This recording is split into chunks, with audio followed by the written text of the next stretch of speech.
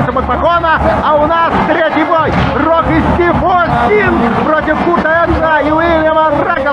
командный бой двое на двое.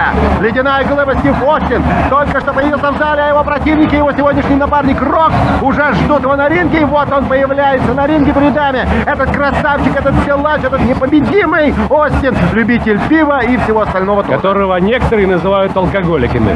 Да, Алкоголик. пивной, пивной алкоголик, самый страшный алкоголизм. Мик Фоли назначил сегодня этот бой в ответ на справедливое требование Регла и Англа по поводу того, что Рок и Остин постоянно их унижают, говорят грубые неженственные слова. А Фоли всего три дня назад Остин поставил на Регале знак качества. И теперь вот у него такая вот лицо вот у него. А с Энглом, как с голубым щенком, никто не хочет дружиться. И, в общем-то, надо бы, конечно, их проучить, вот этих вот лысых, чернобровых, черно... черно